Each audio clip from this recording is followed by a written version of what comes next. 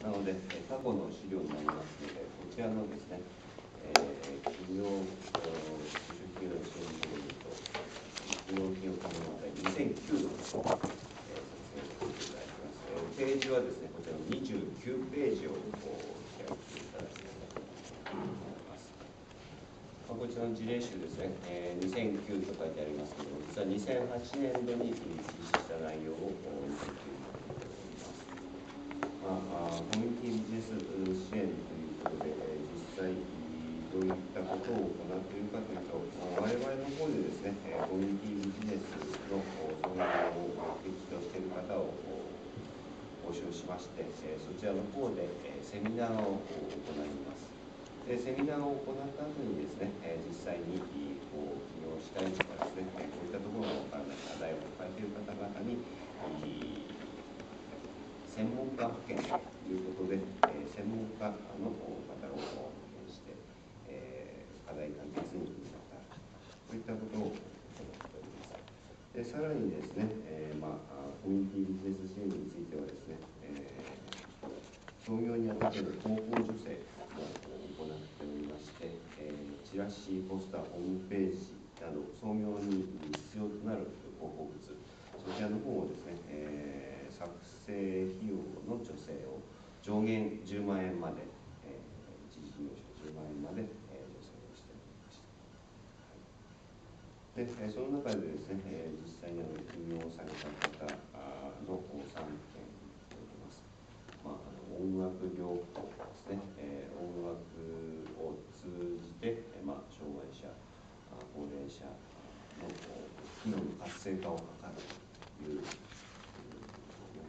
こちらのそれぞれの施設とかですね、えー、ところに出前で行っているとこちらは次が NPO の b こちらの、まあ、ちょうど前橋、まあ、エコブームの時ですので、前橋の政策をして、障害者の就業社会支援を応援するということで、障害者の方が作ったを販売する。えーと、次のですね、宮城市は工房ログハーフというところは、こちらはですね、あの手話の普及を目的として、えー、まあ、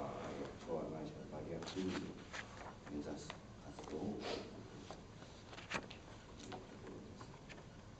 ですで、えー、現在、これ2000、えーですね2007年から行ってきましたけどもこの事業で現在継続しているのがこちら3番目に紹介しました宮城手話工房ロンハートさんのみ現在活動しています。それ以外の方には、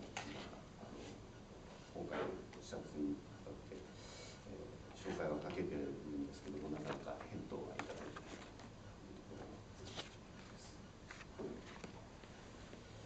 で、えー、2009年度にはですね、コミュニティビジネスから一歩進んだ形で、ソーシャルビジネス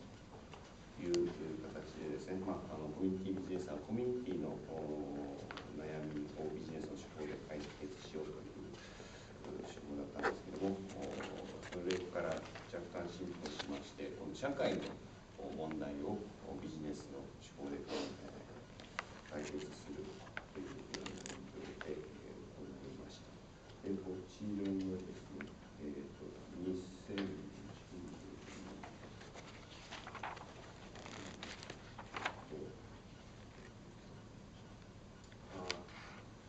具体的な目指しは